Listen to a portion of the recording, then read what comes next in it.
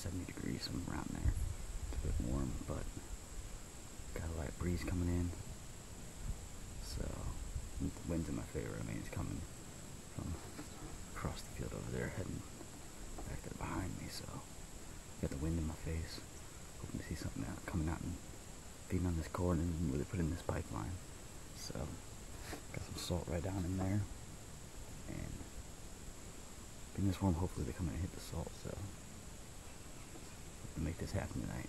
Looking for a big buck or a big doe. Put some meat in the freezer. Put some antlers on the wall, you know. And try and get this done.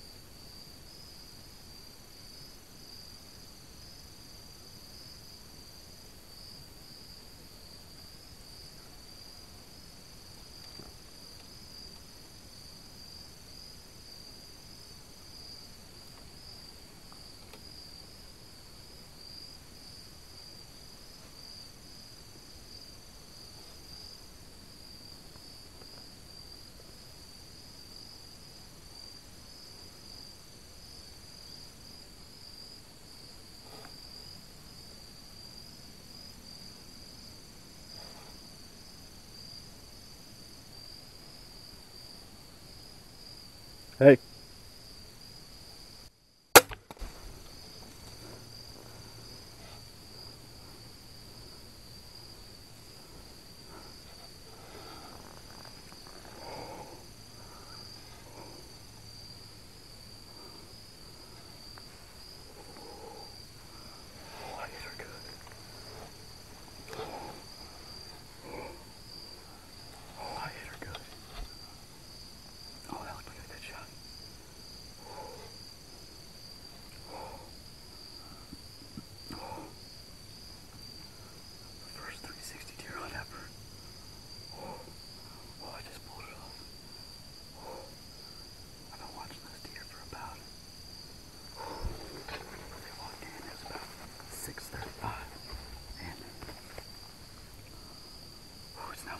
So, watching this deer for a half hour.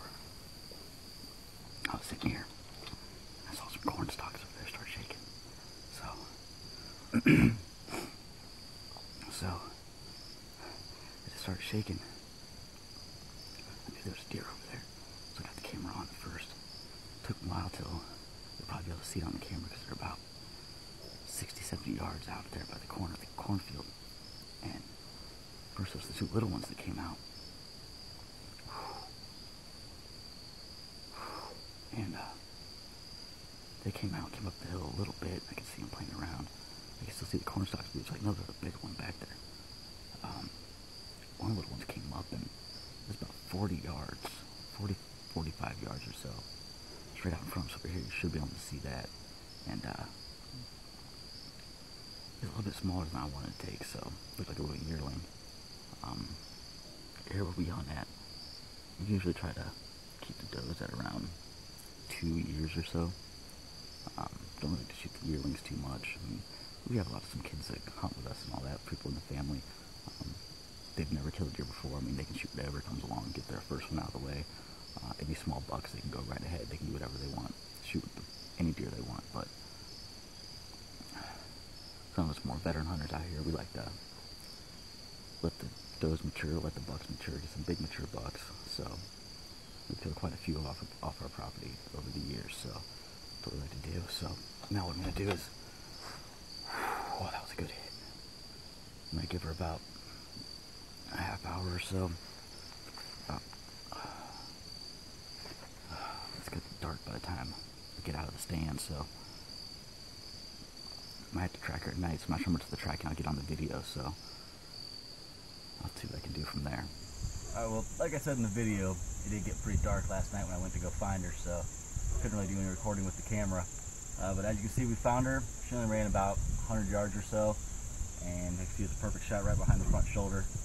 So, I mean, she went down pretty quick. Yeah, hope you guys like this video. We're trying to be the most unique hunting channel on YouTube. We're we're not trying to be like for all everybody else. We want to be something unique, different. Hope you guys like this angle, the 360 footage. Let us know what you think.